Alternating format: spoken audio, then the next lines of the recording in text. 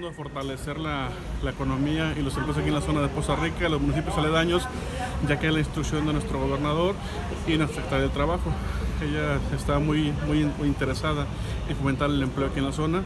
Estamos tratando de vincularnos con las empresas, sector productivo, sector privado, sector institucional, para que podamos trabajar en conjunto y agilizar la, la economía que se reactive en la zona. Tenemos ahorita varias empresas que están viniendo aquí a, a, hacer entrevistas. Tenemos ahorita vino la empresa de Samsung de Querétaro. Han venido tres maquiladoras de acá de Reynosa y Matamoros. Están buscando por lo general obreros para la zona de allá. Y estamos fortaleciendo también el empleo de los trabajadores agrícolas temporales hacia el norte de la República.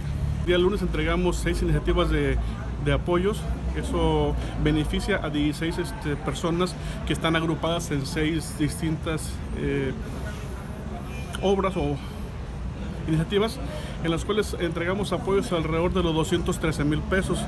Básicamente en maquinaria y herramienta para que ellos puedan fortalecer sus, eh, sus este, oficios en sus comunidades y a la vez la idea es que tengan un ingreso para sus familias y puedan ellos aportar más adelante a la economía ofreciendo empleos hacia la comunidad. Recordemos que el gobierno federal trae varias iniciativas de apoyos, tenemos también la de jóvenes construyendo el futuro, que va encaminada a jóvenes de 16 a 29 años.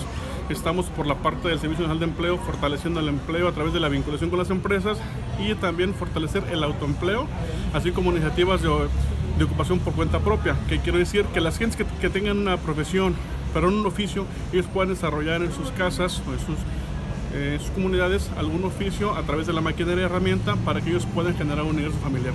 No, apenas eh, los programas apenas empezaron las reglas de operación, se dieron a conocer en el mes de marzo. Estamos trabajando ahorita porque la, oficina atiende a 31 municipios. Entonces tratamos de que los, apoyos lleguen a todas las comunidades, especialmente a las más necesitadas, sin descartar obviamente el municipio de Costa Rica.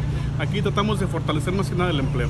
Estamos teniendo vinculación con empresas maquiladoras de la, de la frontera, pero también estamos tratando de vincular fuertemente con las empresas locales, ya que repito, la preocupación de la Secretaría de Trabajo es fortalecer el empleo aquí en la zona.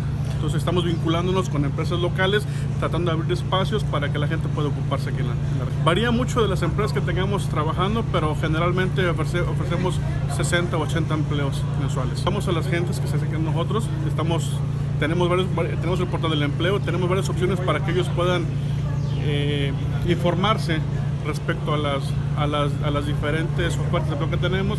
La demanda pues es más o menos de unas 150 personas mensuales.